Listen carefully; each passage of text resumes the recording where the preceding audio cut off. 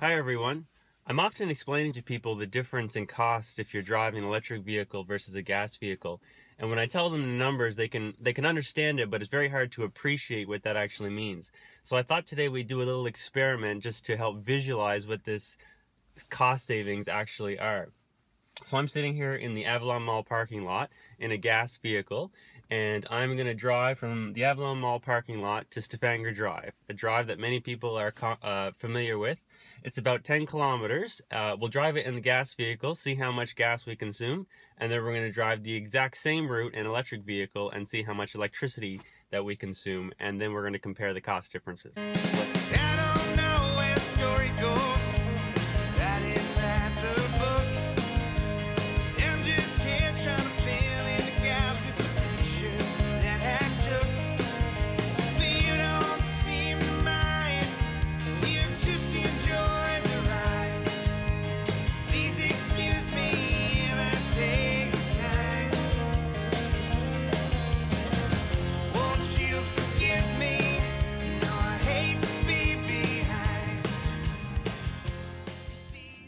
Okay, we're back at the Avalon Mall parking lot, but this time we're in electric vehicle. Now we're to do the exact same route and we're to see how much electricity that we consume.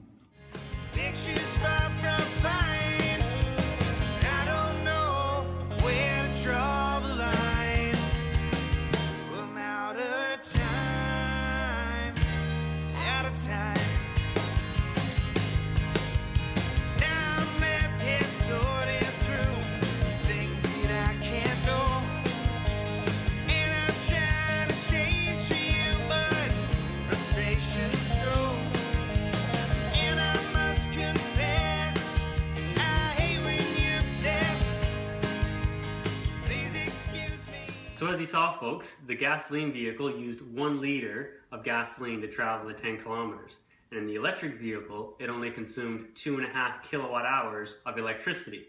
Now I can show you quite easily what one liter of gasoline looks like. However, I can't really show you what two and a half kilowatt hours of electricity looks like. But what I can show you is how much each one cost.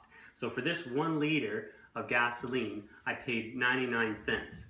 However, for this two and a half kilowatt hours of electricity, I only paid 30 cents. Now that might not seem like a big difference, but if you drive like the average person 20,000 kilometers per year, in the electric vehicle you will consume $600 of electricity. And if you drive in a gasoline vehicle, you would consume $1,980 of gasoline.